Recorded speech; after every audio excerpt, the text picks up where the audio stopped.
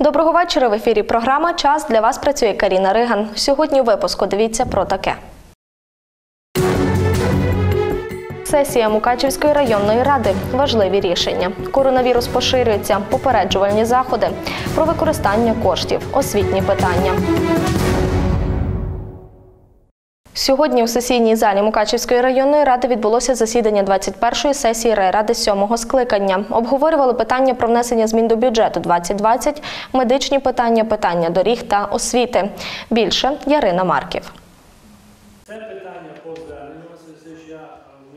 Вранці 27 лютого у великому залі засідань Мукачівської районної ради відбулася сесія. На порядок денний винесли 21 питання. Одним із найбільш обговорюваних стало питання про внесення змін до райбюджету від 12 грудня 2019 року. Я вже був начальником відділу освіту, забора немає огорожі десь 15 років. Ну, потрібно десь 140 тисяч гривень виділити на ДНЗ, щоб зробити капітальний е, ремонт. огорожі.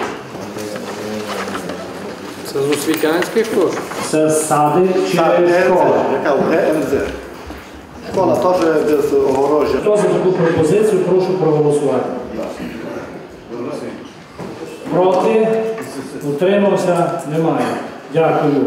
Я думаю, економно відноситися до використання цих коштів, тому що гіркий досвід 2019 року повинен піти канути в минуле як неприємний е, випадок. І у мене пропозиція, щоб я дивлюся на виготовлення проєктних документацій по внутрішніх вбиральних різні ціни ставляться. Якщо для прикладу, візьму одні й ті ж самі е, школи з одною кількістю наповнюваність е, учнів, а сума різна. 100 тисяч, 60 тисяч, 80 тисяч. Е, Працювати над тим, щоб е, дохідна частина у нас збільшувалася, тому пропозиція.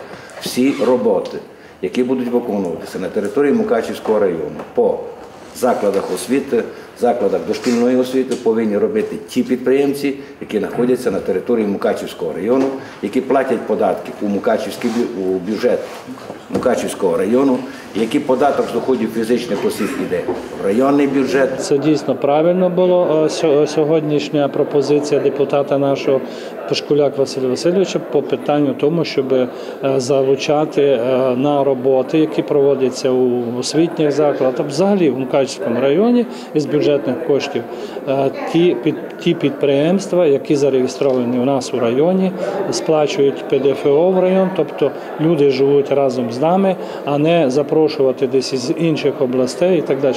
Це йде питання, де не проводиться тендер.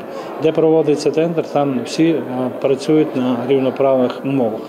Дискутували районні обранці і на актуальну тему фінансування доріг краю.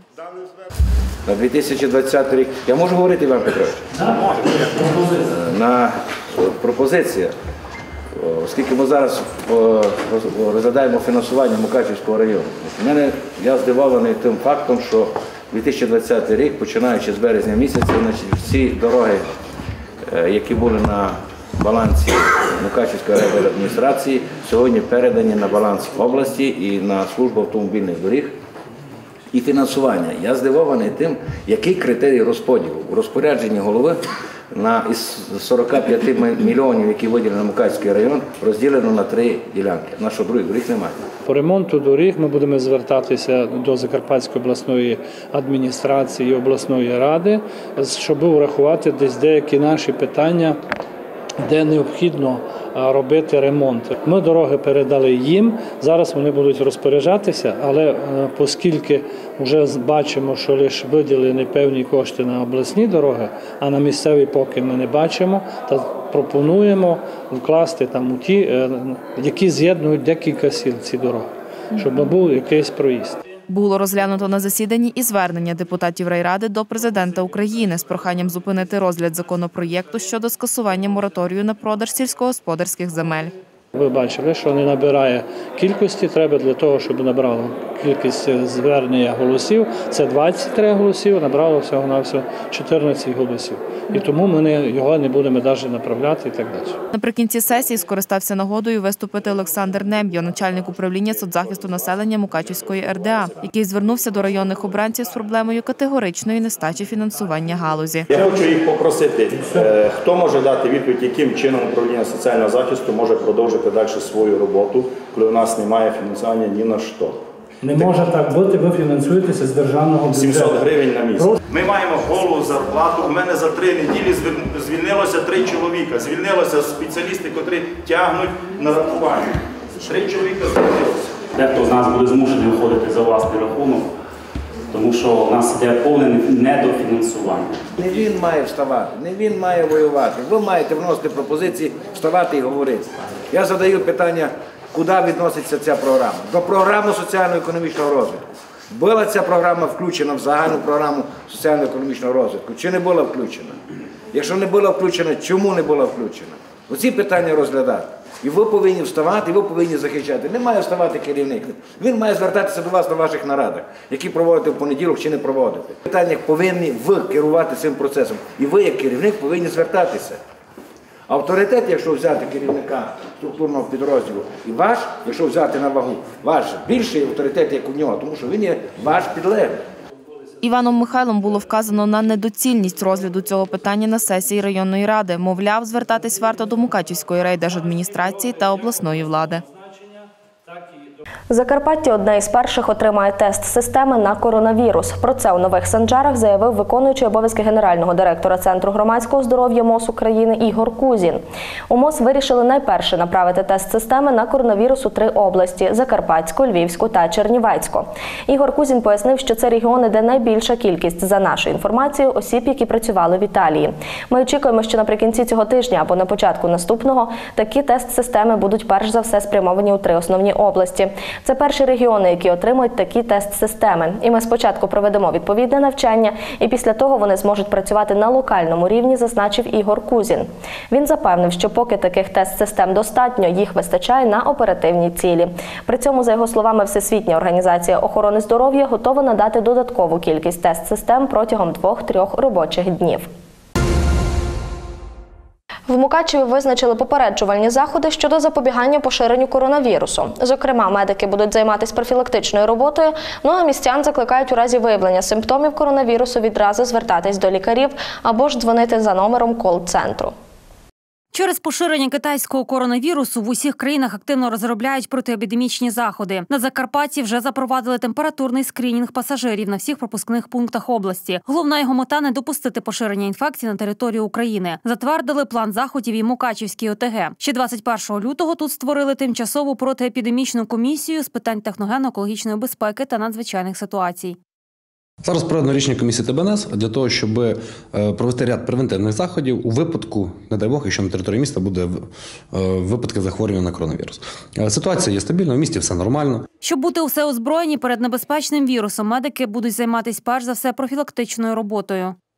Наші медичні працівники будуть займатися освітньою роботою, зокрема в організованих колективах, в дитячих навчальних закладах, і розповідати про цей вірус. І також я закликаю наших громадян бути відповідальними і дбати про своїх про оточуючих, про родичів, про друзів, про інших.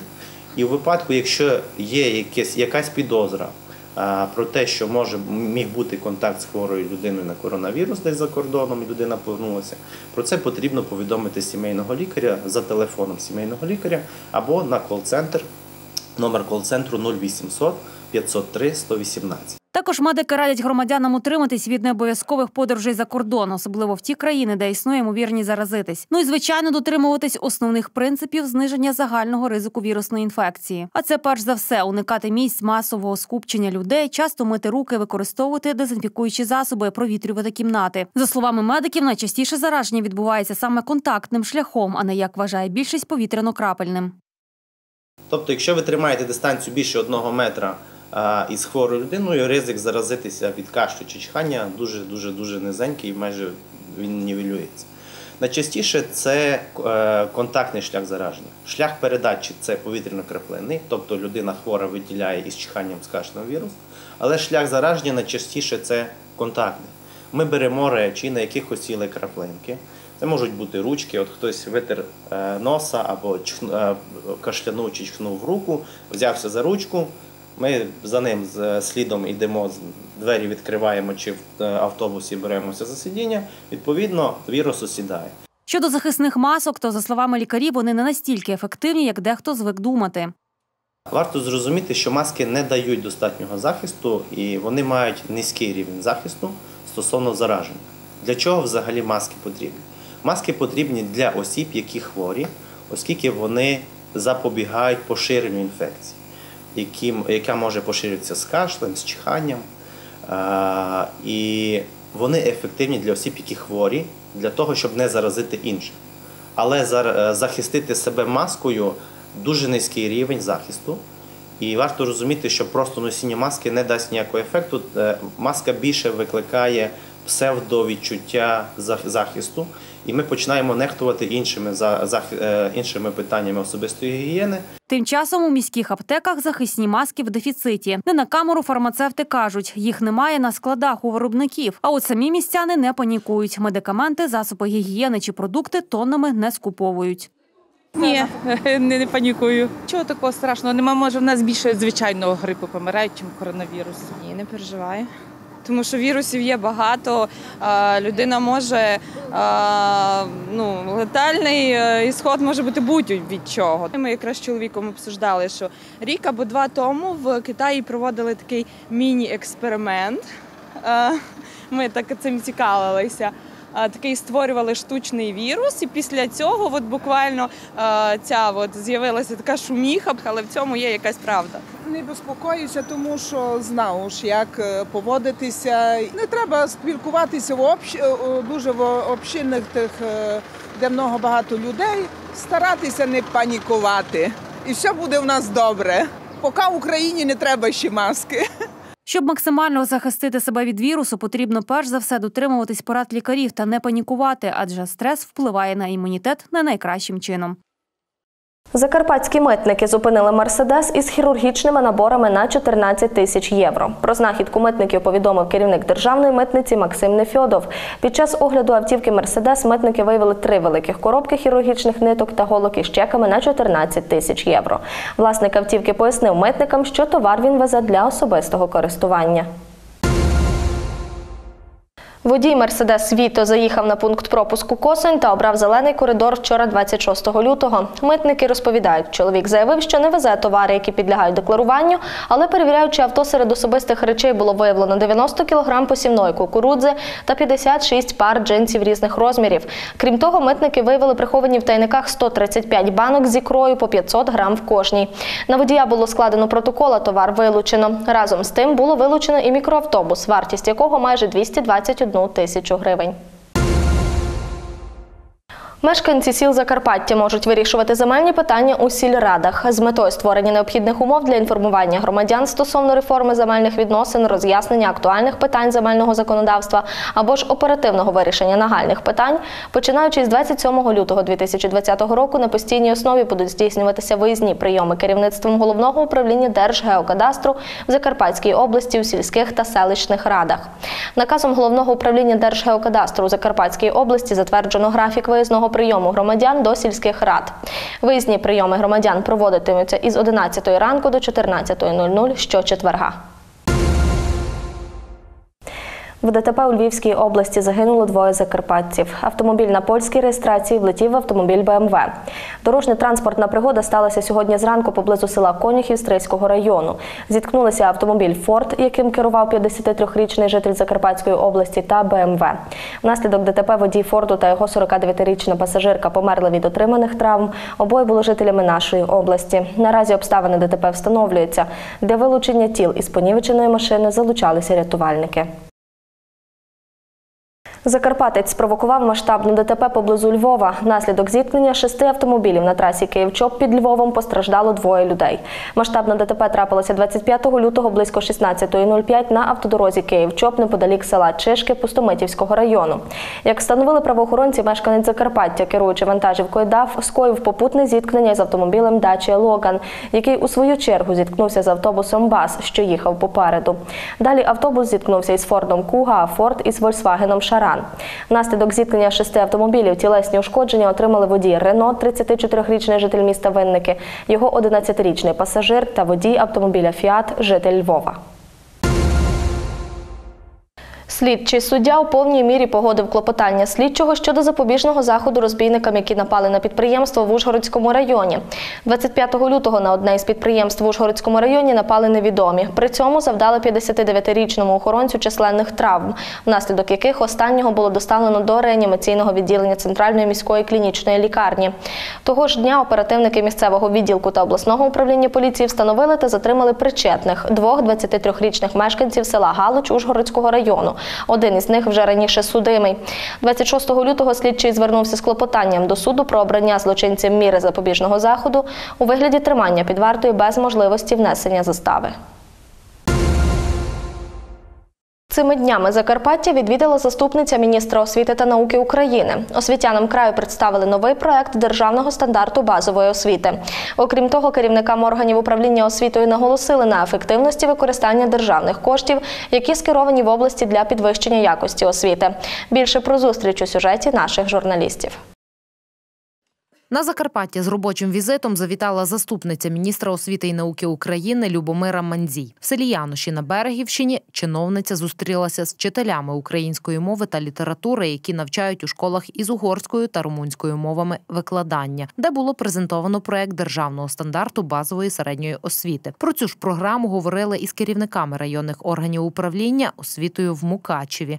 Державний стандарт стане основою для розроблення типових та інших освітніх програм. Після затвердження стандарту школи вправі вибирати або не так, школи вправі самі створювати освітню програму. Що це означає? Безперечно, це означає, що на рівні Міністерства освіти буде типова освітня програма обов'язково розроблена. Вона буде складатися з модельних програм, які це такого якогось рішення, та яке можна буде використати школам, але школи вправі створювати свою освітню програму. Після розробки програму передаватимуть на погодження до Державної служби якості освіти, де її затверджуватимуть. Я розумію, що створення програми передбачає, умовно скажемо, рамковий документ. Перед тим має бути рамковий документ, на який має, так би мовити, який відповідати в кінцевому результаті має. Це цей стандарт, який ми будемо приймати. Тому дуже важливо, щоб спільнота долучилася до обговорення стандарту. Ще одним питанням зустрічі стали результати міжнародної програми оцінювання учнів ПІЗа. Нагадаємо, успіхи українських учнів, студентів у ПІЗа 2018 виявились гірші, а з математики значно гіршими порівняно із середніми значеннями по країнах Організації економічного співробітництва і розвитку держав, які мають високі стандарти в освіті та інших галузях суспільного життя. Мушу піти до репетитора хочу щось отримати. Ну, вибачте, якщо ми виходимо з цього що школа старша 10-11 класу недоконечно відповідає на очікування ні батьків, ні дітей. Але ми, як з вами, управлінці, починаємо на це закривати очі. Ну тоді це розмова, як каже пані Ганна, якого зміни. Давайте стартувати з потреби. Якщо потреба змінити 10-11 клас підхід до організації навчання дітей, то давайте, давайте на це відповідати. Підняли на зустрічі і одне з найболючіших питань на Закарпатті вуличні шкільні убиральні. У мене школа може стояти на горі, де треба знайти воду, де треба е, по нових будівельних нормах нам експертизу просто не пропустять. Я вам скажу от зараз приклад. От ми хочемо побудувати початкова школа е, вбиральню. Води немає, треба добудувати, тому що у нас по горах, знаєте, туалети були зовнішні вбиральні. І от знаєте, скільки мені нарахували? Мільйон. Мільйон вісімсот. В свою чергу Любомира Мандій нагадала, що Закарпатська область отримала найбільше коштів з державного бюджету на вирішення цього питання. 44 мільйони гривень на створення належних умов в закладах загальної середньої освіти. Мені я вам чесно скажу, в мене теж в області була така ситуація. І ми давали певний період часу керівникам відділів освіти. Ці 44 мільйони ви добре знаєте, вони поділені з Прозоро в минулому році. Мені зараз у присутності заступника міністра розказувати, хто з вас не освоїв. Мені вам розказувати, що це питання на контролі в облдержадміністрації. Ми розглядаємо його на нашій колегії в березні.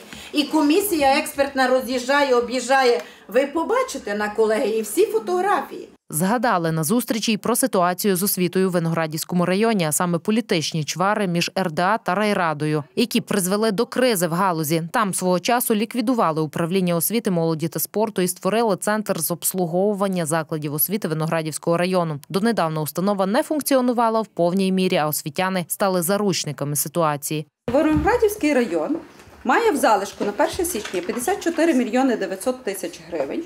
І я думаю, що всі педагогічні працівники можуть. Ви на сьогоднішній день накопичили фінансового ресурсу, збільшили порівнюючи з попереднім роком на 9 мільйонів на 9,5 мільйонів гривень. Кошти, які виділені як додаткові кошти, це є ті кошти, які обов'язково, почуйте мене, обов'язково ви здійсните перерозподіл їх для кожного одного педагогічного працівника, який працює в закладі загальної середньої освіти, на обов'язкову виплату, інтенсивність заробітної плати. Загалом візитом на Закарпаття Любомира Мандій залишилась задоволена. Зважаючи на те, що е, вчителі висловили реальні конкретні побажання, як зробити документ, який ми будемо представляти, кращий, і висловили низку запитань, на які ми на рівні Міністерства освіти пошукаємо відповідь.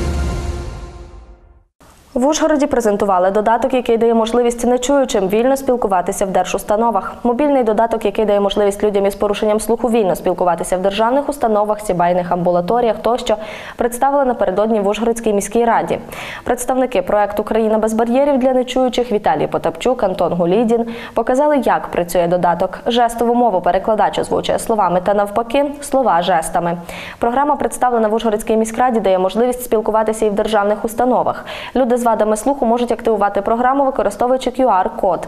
Розробники запевняють, якщо порівнювати з написанням окремих фраз на аркуші паперу, як часто спілкуються з такими людьми, додаток скорочує час утричі і значно підвищує ефективність, адже пишуть зазвичай лише ключові слова, а не цілі речення.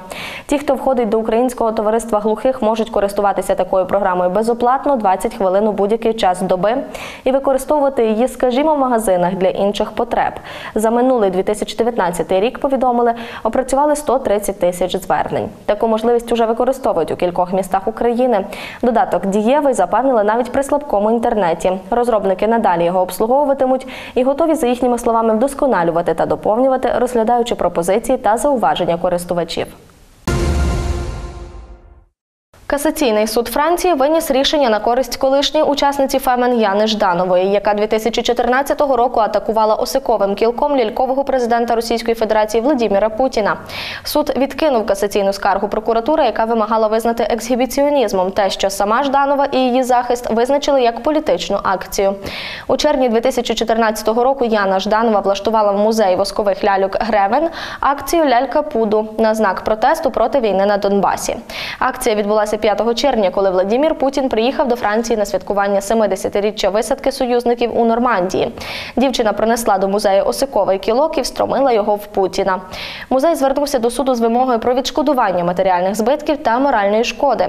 Судова ухвала, винесена кримінальною палатою касаційного суду у середу, стверджує, що рішення є остаточним і оскарженню у Франції не підлягає.